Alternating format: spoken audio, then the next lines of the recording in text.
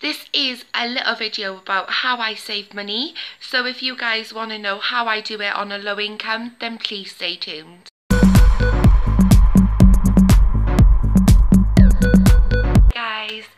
Back to my channel and as you can tell by my title it is how I save money whilst on a low income. Princess Belle is talking to the the telly. She's awake and settled so I thought I'd quickly film this. Um I'm sorry I'm in my pajamas but I've just had a bath after doing all the cleaning. Um and yes yeah, so I'm just gonna stop rambling and I'm gonna get straight into it. The first way I save money is I've got a savings account via my bank. So I put um, fives, tens, twenties, basically just transfer some money. Um, I have actually set up a direct debit to take tw uh, £20 a week out in there and then I do put extra money in um, whenever um, it's possible to. There is also a thing as cash ISAs, um, but I haven't got one of them, so I can't comment on that. But if that's something that you are interested in, then just kind of check it up yourself and just don't go for the first one, shop around. Um, the second thing that I do is um, a money box. It's got the thing on the bottom I ordered one off eBay and I just got sent this wedding fund one. So I do apologise. But basically I put any notes, pound coins or 50s and 20s in here. Um, I can open it, but I it's very rare that I actually go in new. It's only like towards when it's coming out to payday and I need like nappies or something. That's the only time I will ever touch any of the money. Um, I also usually have the tin which you need the tin opener to open but I haven't bought one of them in ages so because they haven't been I haven't been anyway to find them. So I used kind of an old sweetie jar. I just put um, wrapping paper on. I cut a hole in the lid and I've sellotaped around it so I can't open this. And as you can tell it's got twos, ones, fives, tens in there I have sometimes chucked 50s and 20s in you instead of the other one. Um, but again, um, I'll open it. It's not a very full, big tin. So I'll probably, as soon as it gets full, I will open it. Um, count it, put it into money bags.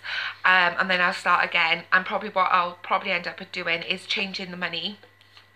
And then putting it into this little container.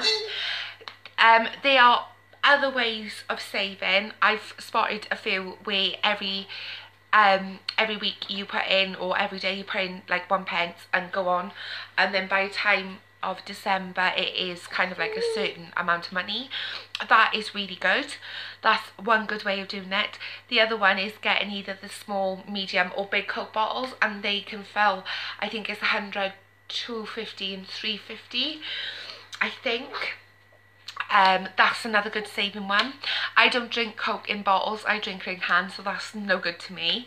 Um, the other one that I really like, I like the look of, is basically you get an envelope and you select a certain note, like a 5, 10 or 20, just say a 10 a 10 pound note.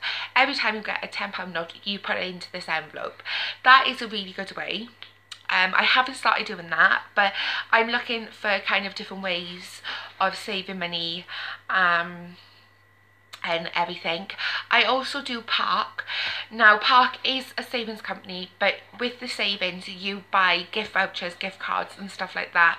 That is really good for Christmas. What I basically be doing with my Park vouchers is what I did last year is um, you, you receive them in the October so in the October, I will buy Christmas presents. I focus on the kids first, so I will buy the kids Christmas presents. Um, Tilly's birthday is a week before Christmas, so I will get Christmas presents for the three girls. I will also get Christmas uh, birthday presents for Tilly, stocking fillers, Christmas Eve boxes, um, And then when and then when the kids are done, I will then go on to getting the adults' presents. Um, if there's any gift vouchers left over, I either go to Iceland to do a big shop in Iceland using the gift vouchers, or I use the gift vouchers to buy stuff for Ruby for her birthday in April. So there's many different ways you can save different amounts um, and everything. Um, but that that is a really good way of getting kind of like Christmas out the way. Other ways you can save is the credit union. Um, I've also got an account with credit union. I to put in a £5 a week uh, with the credit union that is a good way you can get loans you can withdraw the money out anytime so that is another fab way uh, so like I said just type in on Google uh, ways of saving money and there'd be a whole list of ideas and everything so that's kind of how I save and different ideas for savings.